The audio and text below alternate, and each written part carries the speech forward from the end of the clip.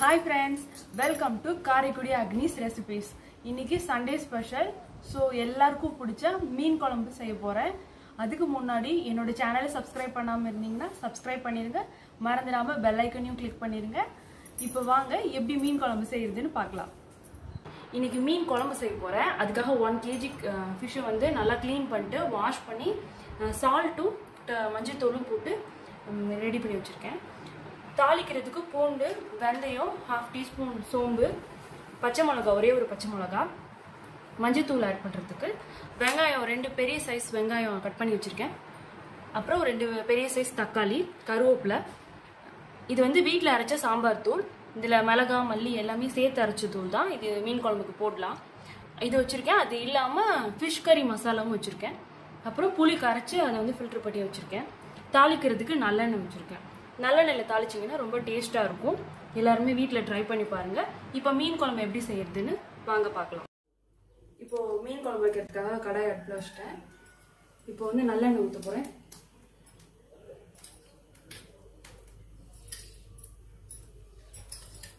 நான் ஒரு four spoon ஊற்றிக்கிட்டேன் நல்லா அப்போ தான் ஆனியன்லாம் வதக்கிறது கரெக்டாக இருக்கும். இப்போ எண்ணெய் சூடாயிடுச்சு. நான் அதில் வந்து சோம்பும் வெந்தயமும் ஆட் பண்ண போகிறேன்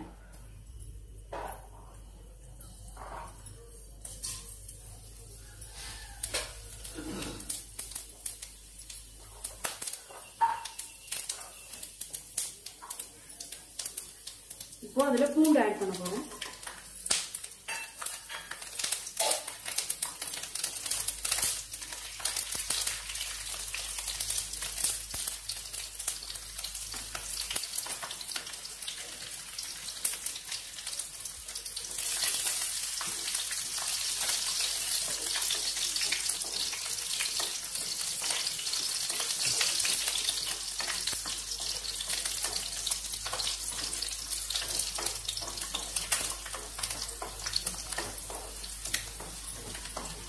பூண்டு இப்போ நல்லா வதங்கிடுச்சு லைட்டாக கலரும் மாறிடுச்சு. வாசமும் வந்துடுச்சு இப்போ இதில் கொஞ்சம் கருவேப்பிலையை நான் ஆட் பண்ண போகிறேன்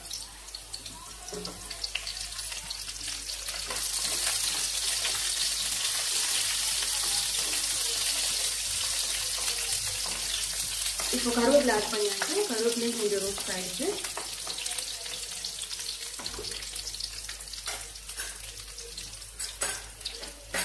ஸோ இதில் ஒரு பச்சை மிளகாய் எடுத்து வச்சுருக்கோம்ல அதை நான் இதில் ஆட் பண்ணுறேன்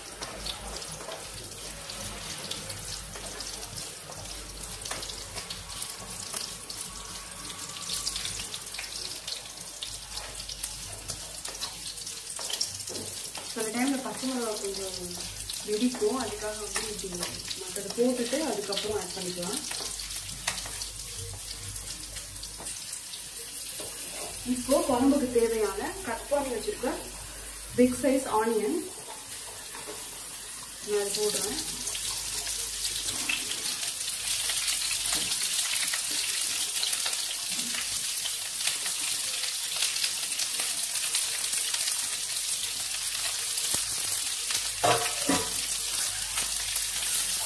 நல்லா நல்லா கோல்டு கலரில் மாறட்டும் வெங்காயம் நல்லா வதங்கினதுக்கு எப்போவுமே தான் எப்போதுமே தக்காளி ஆட் பண்ணணும். அப்போ தான் அந்த டேஸ்ட்டு நல்லாயிருக்கும்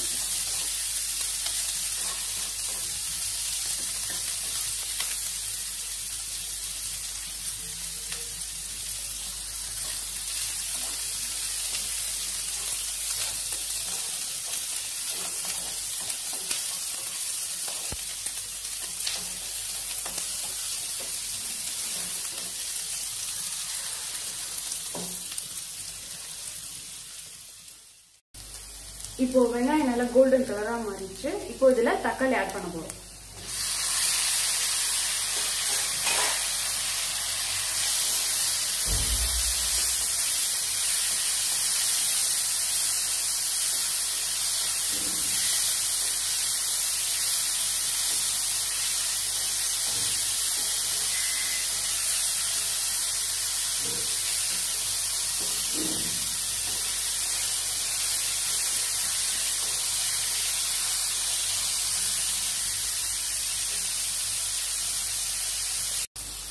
இப்போ தக்காளி நல்லா வதங்கிருக்கு இப்போ இதுக்கு தேவையான மஞ்சள் தூள் பொடி எல்லாமே நம்ம இதில் ஆட் பண்ணிடலாம்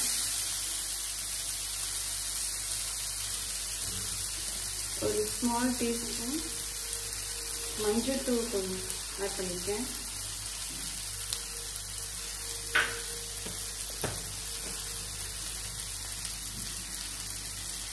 இது வீட்டில் இருக்க சாம்பார் தூள். இது ஒரு மூணு ஸ்பூன் ஆட் பண்ணிக்கலாம்.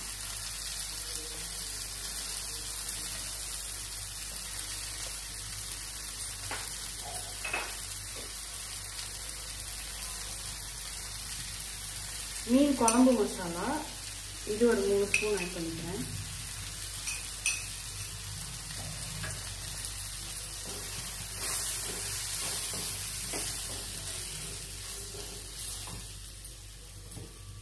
அப்புறம் தேவையான அளவு உப்பு ஒரு ஸ்பூன் ஆட் பண்ணியிருக்கேன்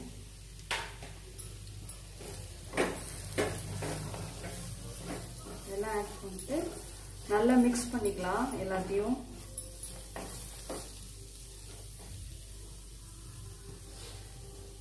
கொஞ்சமாக எண்ணெய் விட்டு கொஞ்சம் கிளறிக்கலாம். அப்போ கொஞ்சம் நல்லாயிருக்கும் மசாலாலாம் அப்போ ஆயிலோட கொஞ்சம் மிக்ஸ் ஆகிடும்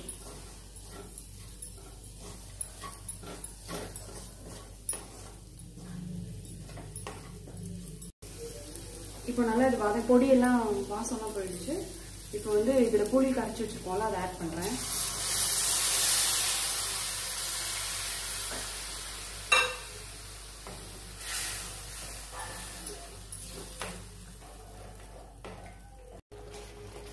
இப்போ புளி பொடி எல்லாமே மிக்ஸ் பண்ணதுக்கப்புறம் இங்கே பாருங்க நல்லா தொக்கு மாதிரி இருக்கா? இப்போ குழம்புக்கு தேவையான வாட்டரை வந்து இதில் ஆட் பண்ண போகிறோம்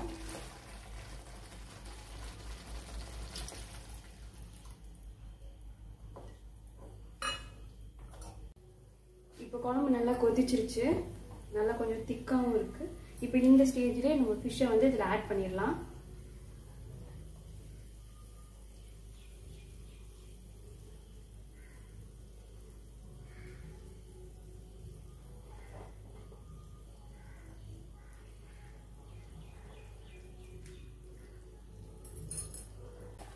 இப்போ இதில் எல்லா ஃபிஷ்ஷும் நான் ஆட் பண்ணிட்டேன். கொஞ்சமாக இப்படி சிம்மில் வச்சு கொஞ்சம் கொதிக்கட்டும். அப்போ தான் வந்து மீனில் பொடி உப்பு எல்லாமே அதில் சார்ந்துருக்கும். இப்போ இதில் லைட்டாக கொத்தமல்லி வந்து நான் கொஞ்சம் ஃப்ளேவருக்காக அதில் ஆட் பண்ணி விட்டுறேன்.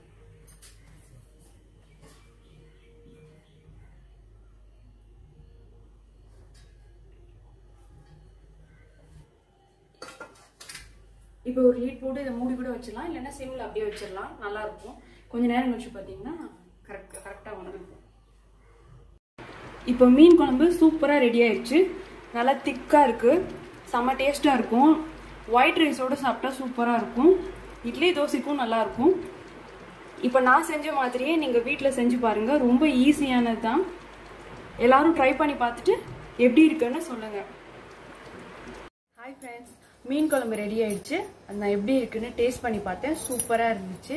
நீங்களும் வீட்டில் ட்ரை பண்ணி பாருங்கள் கண்டிப்பாக உங்கள் எல்லாருக்குமே ரொம்ப பிடிக்கும்.